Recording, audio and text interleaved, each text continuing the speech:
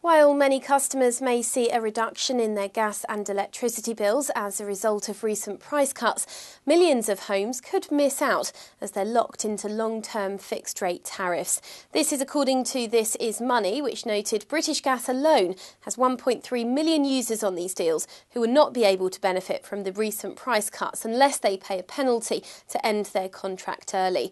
However, Managing Director of Energy at the firm, Ian Peters, said many consumers have chosen chosen long term deals to guard against future price increases.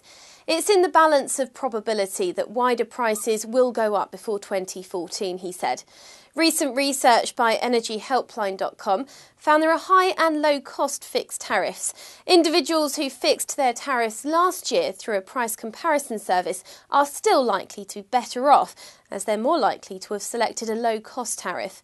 Make sure you're not paying too much for your energy. Compare gas and electricity prices now at EnergyHelpline.com or call 0800 074 0745.